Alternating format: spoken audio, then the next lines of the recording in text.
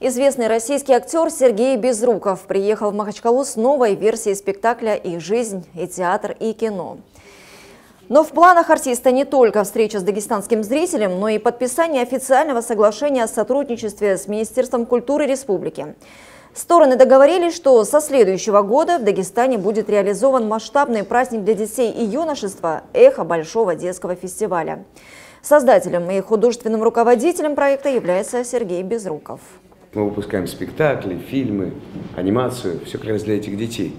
И как раз дети решают, что является лучшим. Мы-то считаем, что все лучшее мы им отобрали на наш фестиваль.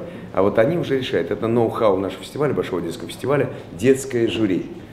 И э, как раз победители, знаете, как когда только Москва видит лучшее из разных регионов, потому что у нас мультижанровый фестиваль, мы собираем э, и спектакли музыкальные, э, э, театр, э, театров кукол, детские различные спектакли, анимацию, кино.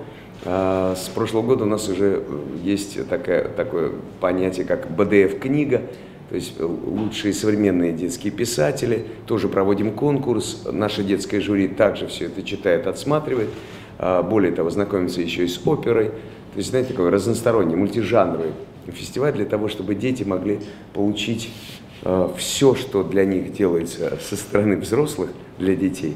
Покажем не только спектакли, конечно, будет день анимации и кино, и, естественно, цикл лекций, лабораторий. Я думаю, что, тем более, что следующий год юбилейный э, Расул Гамзатова, я думаю, что что-нибудь придумаем, и, может быть, Московский губернский театр тоже поучаствует каким-то образом